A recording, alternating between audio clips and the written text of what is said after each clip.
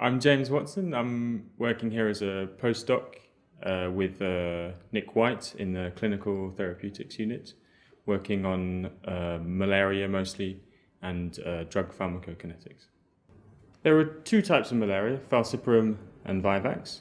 And falciparum is the, is the better known one, and it's uh, spread across Africa.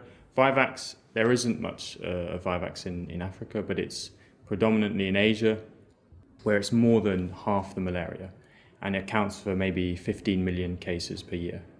Malaria gives you a fever, and the primary fever you treat exactly the same way for falciparum and Vivax. However, Vivax has a characteristic of uh, relapsing, and you have these hidden parasites in your liver that come out and give you a new illness every three or four weeks. And there's only one drug that cleans your liver and stops these relapses, which is primaquine. The problem with primaquine is that it causes anemia in people with a, a genetic deficiency called G6PD deficiency. And this is the most common uh, deficiency in the world. And so you can't give primaquine to, to lots of people. Primaquine destroys the older rather than the young red blood cells.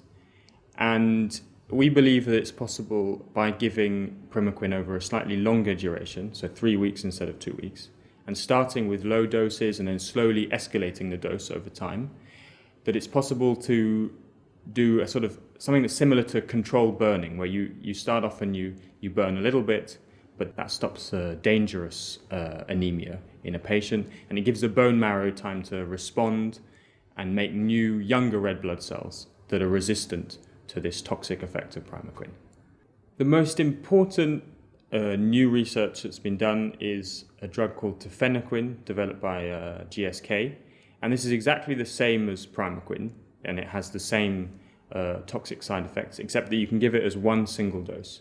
This is uh, uh, an important progress because primaquine you have to take over two weeks, and lots of people don't finish their treatment, and therefore don't uh, cure themselves of these of these relapsing infections.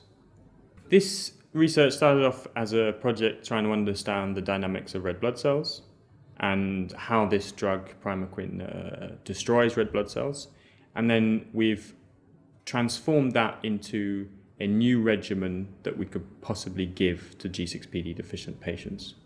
In Asia, we think that there are millions of people who are G6PD deficient and who can't take primaquine.